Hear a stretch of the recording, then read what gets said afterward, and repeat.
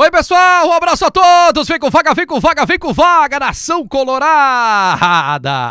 Com a cara do Inter, né? Contra o time que tá brigando pelo rebaixamento, sofrimento no Beira-Rio, susto no final com pênalti marcado, anulado pelo VAR, gol do alemão, o é alemão, nasce um novo ídolo do torcedor do Internacional. Nasce um novo ídolo, alemão, o autor do gol da vitória. O mano ficou pé da vida, porque faltou um detalhe interessante para o time do Inter. Faltou um detalhe importante para o time do Inter. Vou falar sobre isso. O torcedor colorado pode comemorar, pode comprar a carne para o teu churrasco do final de semana, deste domingão.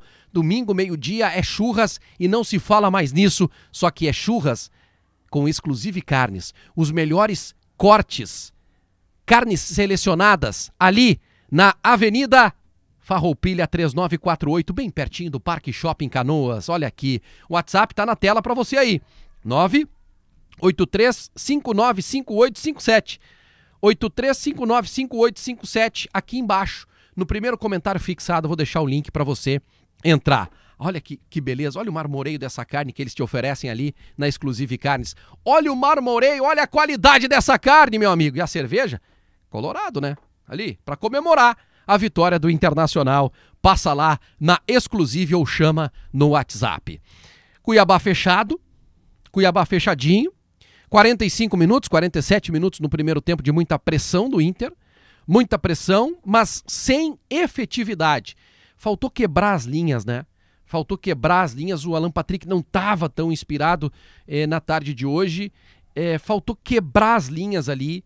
Um passe de quebra-linha faltou uma penetração, faltou uma finalização mais contundente do Internacional no primeiro tempo. Teve um chute do Alan Patrick, que o João Carlos, o goleiro do Cuiabá, fez a defesa, mas no mais, uh, faltou. Faltou criatividade, faltou inspira inspiração para o Inter para furar a retranca do Cuiabá. Vai para o intervalo, Mano tira o Wanderson. Aliás, vamos ficar atento no Wanderson. É, colocou gelo na parte é, é, anterior da coxa direita saiu, foi, foi imediatamente ali colocar gelo. Uma preocupação, se bem que o próximo jogo do Inter é contra o Atlético Goianiense. Entra Pedro Henrique, que vai lá para o lado esquerdo.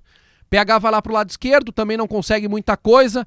O Mano coloca o, o Edenilson, tira o Johnny, bota o PH pelo lado direito e o Cuiabá, com o Inter não conseguindo penetrar, faz o quê? Dar uma saidinha aqui, vamos adiantar um pouquinho as linhas, vamos sair com os laterais. E aí, meu amigo, sobrou um pouquinho de espaço. E Denilson enfiou e o Inter conseguiu um contra-ataque no jogo, numa bola no lado direito para o Pedro Henrique, que ele faz o cruzamento, o alemão chega atrasado. A bola sobra no lado esquerdo, volta para a direita para o Pedro Henrique e aí ele faz um cruzamento perfeito, né? Cruzamento perfeito na cabeça do alemão.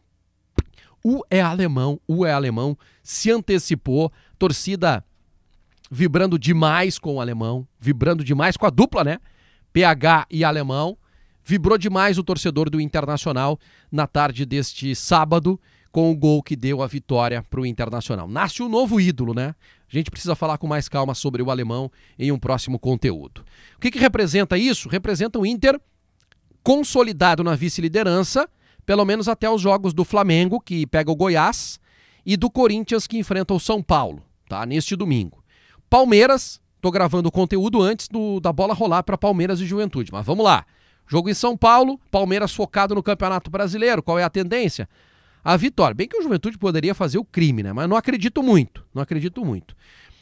É, para quem sonha com o título do Campeonato Brasileiro, eu fiz um cálculo e publiquei na manhã deste sábado no conteúdo pré-jogo que está aqui é o, é o, último vídeo de Internacional. Dá uma passadinha ali para conferir o que é preciso para o Internacional ser campeão brasileiro, tá? Em termos de aproveitamento, isso é projeção matemática e nada além disso. É, é, é importante que o Internacional fique ali onde está, em segundo, em terceiro, e fique cuidando tropeços eventuais do Palmeiras, Flamengo e também do Corinthians para pegar uma vaga direta na Libertadores da América e daqui a pouco num sprint final buscar o título do Campeonato Brasileiro. Acho difícil, mas como eu disse, eu não tiro o direito de, de, de ninguém, do torcedor mais apaixonado e mais fanático, acreditar que é possível. Matemática está aí para isso, para acreditar. O Inter tem uma sequência boa: Atlético Goianiense, Bragantino e Santos. São nove pontos em disputa aqui. A sequência do Inter é muito boa.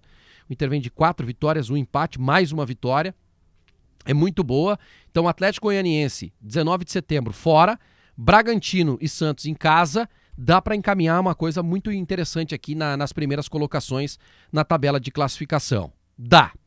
É, o Mano Menezes ficou. Faltou, uma, faltou um detalhe, tá? Eu, eu ali no, no, no lead deste conteúdo eu falei sobre o, o detalhe que faltou pro time do Inter. Faltou inteligência para segurar a bola e não segurar numa zona perigosa, porque veio o susto no final do jogo. Veio o susto e eu quero opinar sobre o lance. O Inter começa a tocar bola ali curtinha no campo de defesa, com a pressão do Cuiabá, o Mano fica indignado. O Mano ficou enlouquecido. O Edenilson sofre uma pressão do Valdívia, tropeça, e quando tropeça, se choca com o André na área. Pênalti, marca o juiz. Meu amigo, não foi. Para mim, tá? Para mim a arbitragem errou ao marcar o pênalti. O VAR errou ao marcar a falta do Valdívia no Edenilson. Para mim não houve falta, mas não houve o pênalti. Não houve o pênalti. Então, o que deveria ter sido marcado ali, nada. Ele teria que ter deixado o jogo correr. Mas e se o juiz marca o pênalti e o VAR entende que não, decisão é do juiz? O Inter ia se complicar num jogo que, pelo amor de Deus, teve 80% de posse de bola. Porque faltou inteligência. Eu ia dizer faltou experiência, mas, gente, tava Tyson, tava Edenilson, Mercado, os jovens experientes do Internacional, Vitão, com, com trajetória na, na Europa, Bustos, carreira na Argentina. Não dá, né? Não dá para vacilar. Numa dessa o juiz vai lá e não, é pênalti acabou. Aí vai lá o Cuiabá, bate o pênalti, empata um jogo. Frustra. Não o jogo, não a tarde. Estraga tudo que, que, que vem pela frente no Campeonato Brasileiro. É, é, é, o jogo com a cara do Inter, né? É o jogo com a cara do Inter. E, e, e aquela síndrome Esporte Recife sempre volta, né? Do Campeonato Brasileiro de 2020. Sempre vai voltar à mente do torcedor do Internacional. Ah, não era para ter ganhado, não conseguiu ganhar, perdeu. Ou perdeu ponto importante, né? Tem a síndrome Esporte Recife que vive na, na, ali batendo na porta né, da, da cabeça dos torcedores do Internacional. Não pode. É preciso ter calma, tranquilidade, raciocinar o jogo. Talvez o Mano tenha escolhido é, é, mal a última substituição, tira o alemão, mas bota o Mikael para ele prender a bola lá na frente. Enfim, não sei. O importante é o que vai para a tabela de classificação. Três pontinhos. O Inter na vice-liderança, pelo menos até os jogos, começarem os jogos deste domingo. E os jogos só vão começar depois que você botar a tua carninha no fogo, né? Exclusive Carnes, ali em Canoas, bem pertinho ao Parque Shopping Canoas. Exclusive Carnes no Instagram e no WhatsApp, que eu vou deixar o link aqui embaixo, mas já anota aí, tá com papel e caneta, 983595857. Chama no WhatsApp, diz assim, ó, ó, vi lá no Vaga. Quero saber se essa carne é boa mesmo. E já me mandam as duas colorado aí que eu vou gelar os canecos. Abraço, até a próxima. Tchau, tchau.